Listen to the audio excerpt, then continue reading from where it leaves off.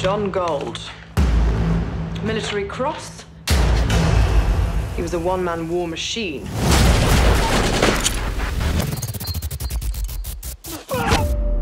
He all but disappeared just over three years ago, and he's been completely off-grid ever since. Oh, would you look at that? A real live ghost.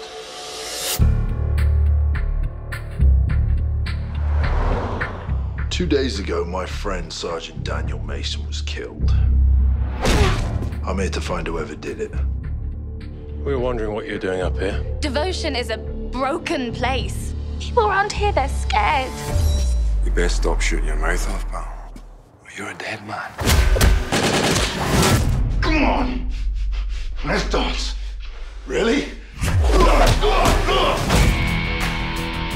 I know you want justice for the Mason family, but you might want to think about leaving town. It's not justice I'm after. Let him come.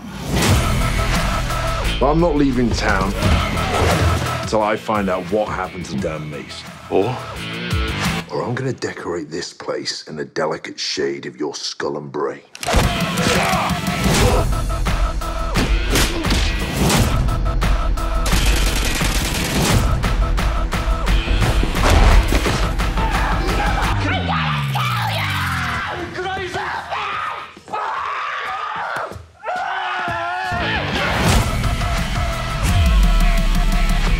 What's this prick look like then? Just shoot any prick you don't recognize so we can piss off down the pub. First round's on me, lads.